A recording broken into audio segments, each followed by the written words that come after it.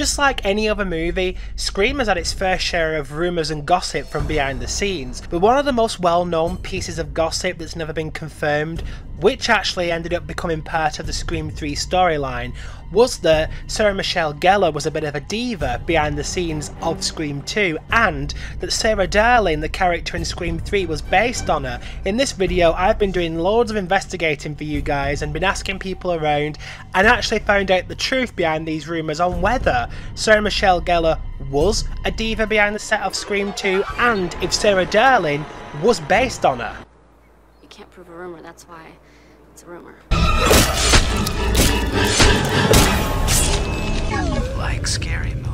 Hello everyone and welcome to Beyond the Mask where we talk about all things Scream. If you're interested in Scream content or you just like Ghostface in general, don't forget to hit the subscribe button and make sure you hit the bell icon to stay notified for future content. Just to notice that by hitting subscribe today, you're becoming part of our Scream community in which I'm posting polls and discussions to Scream fans every single day and you can take part in those discussions with Scream fans from around the world. So be sure to hit that subscribe button.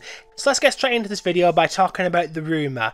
And the rumour is that behind the scenes of Scream 2 that Sarah Michelle Gellar was a bit of a diva for Wes Craven and that he didn't really have a favourable opinion on working with her because she would always wag the director and wag the director means that she would always have an input into her scenes and in what direction she felt the character should go in.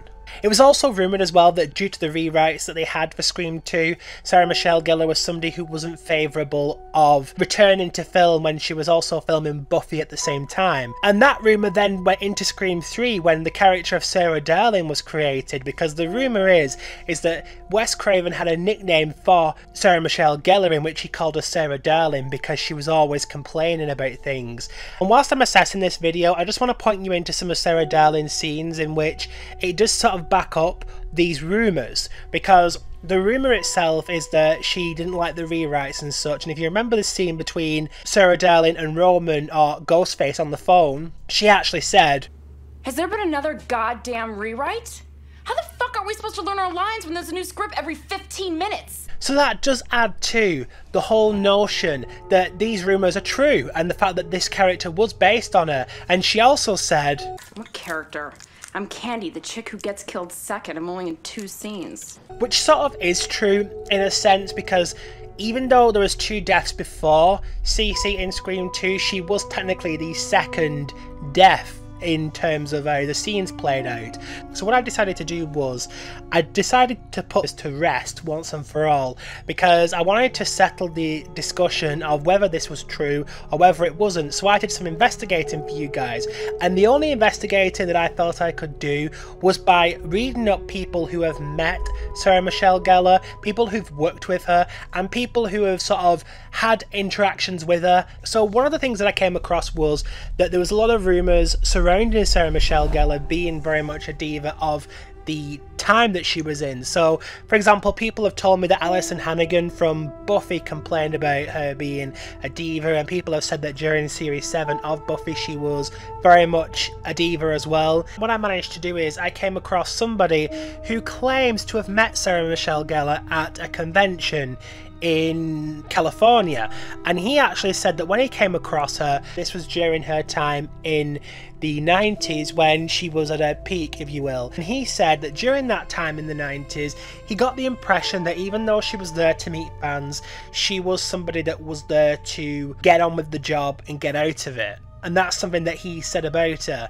He was also backed up by somebody else who claimed to have met her around 1998 during the promotion for Buffy, and he also said that even though she came across very nice, she was very standoffish compared to some of the other actors from Buffy at that time. So whilst my investigation into this led somewhere else, which I'll get into in a moment, I just want to point out as well that during the time that Scream 2 came out, Sarah Michelle Gellar had just finished filming I Know What You Did Last Summer and had gone straight into filming Buffy and was also filming Scream 2 as well. During that time in 1997, she was a very well sought after actress. She was massively popular because people were sort of wanting to hire her because of the success of Buffy or how successful Buffy was going to become.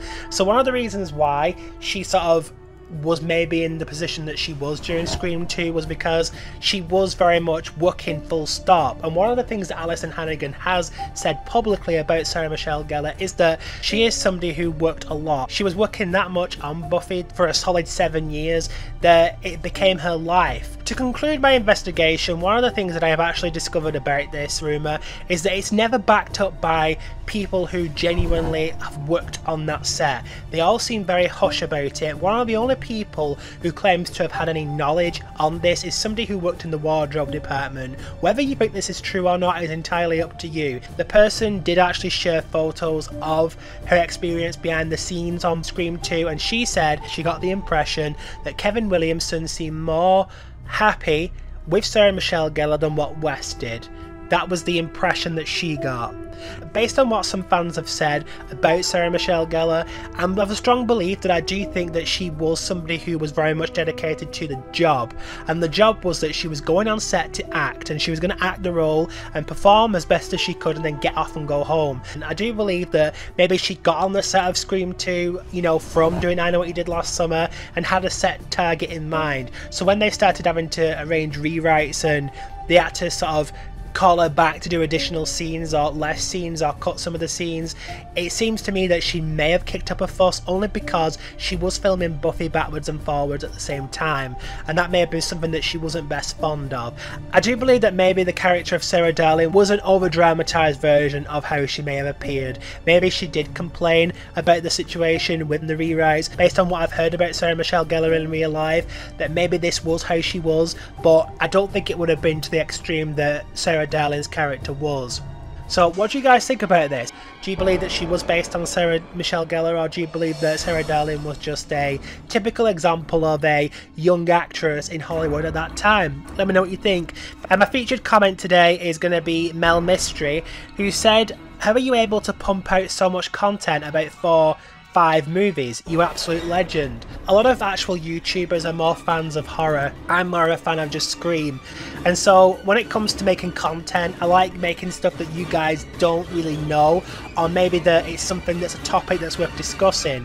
And believe it or not, in four movies, Scream did cover a lot of ground. So I'm trying to cover the ground that maybe we didn't know, but also expand on the lore. The idea of this channel is to sort of expand lore for you guys so that when you're watching the movie it can give you a new perspective. So thanks for that comment Mel Mystery, I really appreciate the fact that you acknowledge that I'm managing to pull videos out of just 4 slash 5 movies, so thank you very much for that comment. Thank you very much for watching the video guys, don't forget to like the video, that lets me know that you're enjoying this content. Closing off this video in true Beyond the Mask style, I'm going to leave it with a Cici Cooper quote. Yeah, and I'm impatient. Look, do you want to leave a message for someone? Like scary